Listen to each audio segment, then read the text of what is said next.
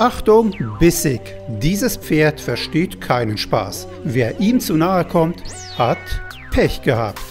Das Pferd beißt selbst in Pferdeschwänze und schubst aufdringliche Touristen einfach weg. Die Touristen in London leiden deshalb. Ein cooles Foto mit der Palastwache, warum nicht, denkt sich dieser Mann und stellt sich möglichst nah an Pferd und Reiter. Doch die Frau rechts im Bild geht einen Schritt zu weit.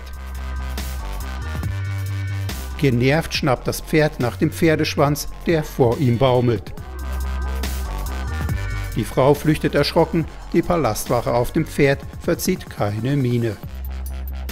Trotz Beißattacke, der Tourist auf der anderen Seite kann scheinbar nicht widerstehen, schiebt sich immer weiter ans Pferd ran, bis dieses einmal ausschnaubt. Dann verlässt ihn der Mut und er sucht das Weite.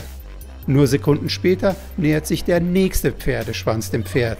Auch der passt dem Tier nicht und schubst die Dame unsanft zur Seite.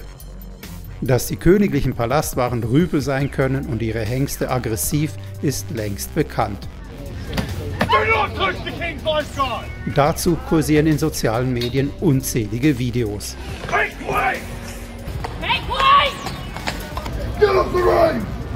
Zu diesen Touristen scheint das noch nicht durchgedrungen zu sein. Dabei steht es auch noch auf dem Schild neben der Palastwache. Vorsicht, Pferde können treten und beißen. Wer halt nicht lesen kann, der muss fühlen.